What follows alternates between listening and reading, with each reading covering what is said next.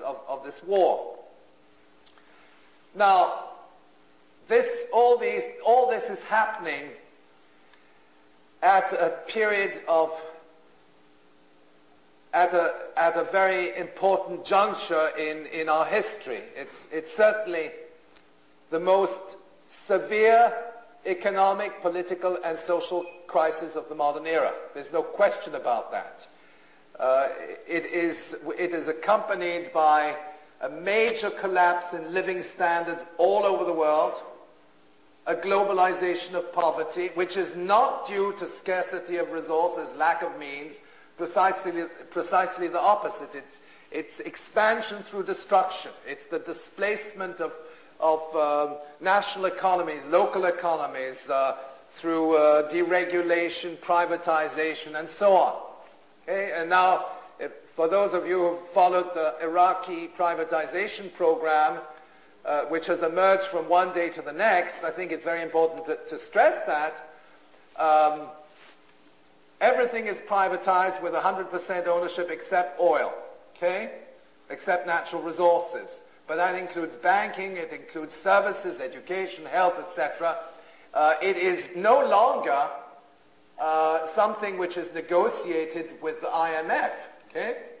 We, we might one day feel very nostalgic um, in relation to the IMF's deadly economic medicine, which uh, was imposed on countries, negotiated and imposed on countries in a multilateral framework.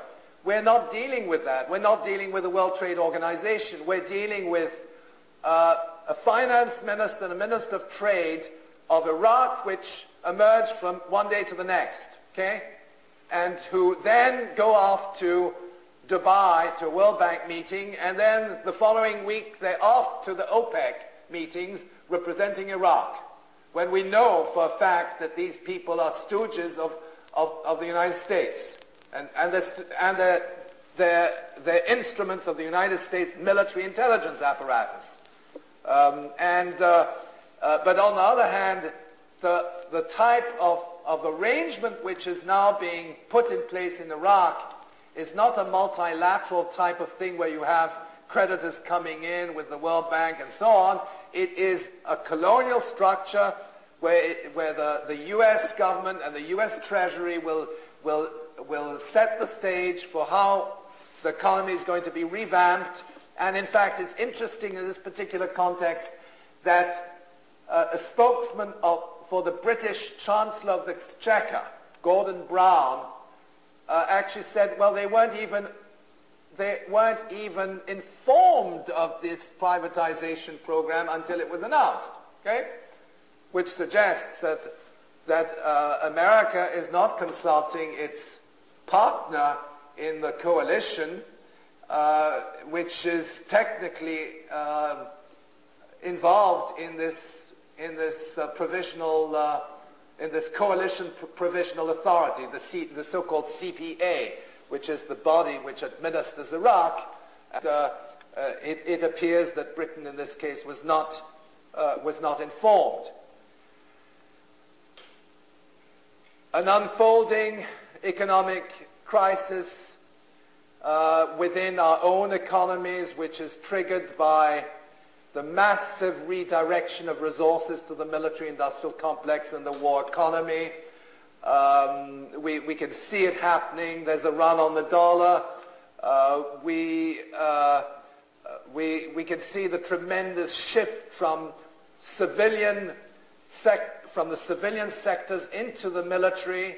The, the, the implications of this of this uh, war economy on social, on social services is likely to be absolutely devastating. Uh, we, we can see also massive budget deficits accumulating due to the, uh, to, due to the expansion of military budgets. Uh, and uh, contrary to the 1930s, because I think we have to also start comparing with other, comparing this situation with that of the 1930s in Germany. Okay? This is a movement towards fascism. It's a slide towards fascism. It is supported on the its militar, militarization on the outside, internationally. Inside, it is the establishment of the police state uh, under the Patriot legislation. Uh, this police state apparatus is unfolding. Um, and uh, in fact, what you have is the militarization of civilian institutions. Uh, we brought out a very interesting study in the, in the magazine which has to do with the fact that in the United States they're repealing legislation which prevents the military from entering into the spheres of civilian police and justice. It's called the Posse Comitatus Act. It goes back to the Civil War. It's a very fundamental principle that the Pentagon, that the military do not intervene in, in, in police functions or in, uh, in the judicial. And what is happening is that this legislation is being repealed and we are now seeing the militarization of civilian institutions. So that de facto we have, we have a military government in the United States. Let's face it. Because George W. is not the person who is pulling the strings. His understanding of foreign policy is very limited. I, uh, I don't know what the standards are in, in, at McMaster University, but I, I, guess they're the same as they are at the U of O, but um, well, maybe higher. But in any event, uh, George W. would not have made his uh, honors uh, BA in, in, international affairs at, at, any Canadian university with this kind of perspective. the, the, the guy does not know where Afghanistan is, okay?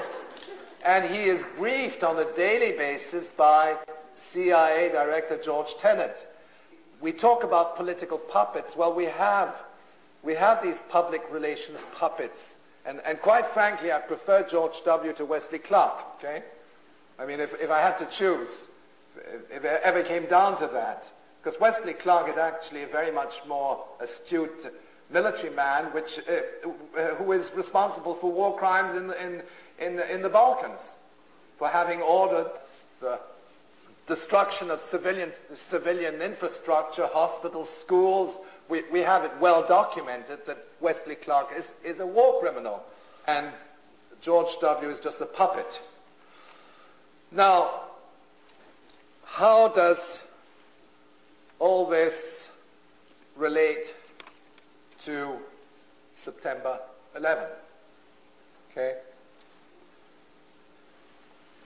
Well, it relates in a very direct way because in every political statement by the Bush administration,